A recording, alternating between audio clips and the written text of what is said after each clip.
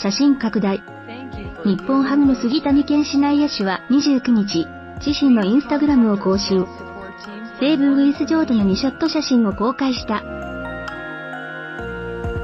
レッドライフドームでの特別アナウンスが生んだ交流に、ソフトバンクの柳田悠岐外野手、パドレス参加でプレーする牧田和久投手ら約4万2000人から、いいね、が押される大人気投稿となっている。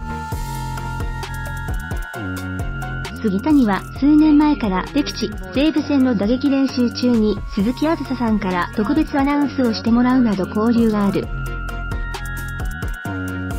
鈴木さんは昨年放送されたフジテレビ系プロ野球チンプレー吉見プレイ大賞で大賞を受賞。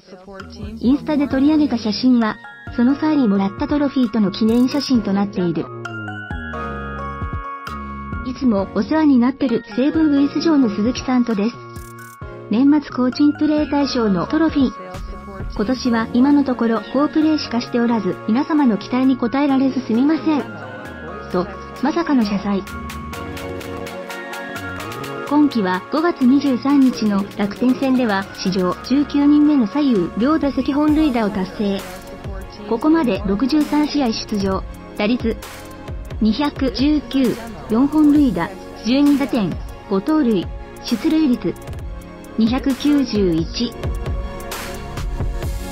代打では18打数8安打の打率444、1本塁打、2打点、出塁率545と勝負強さを発揮している。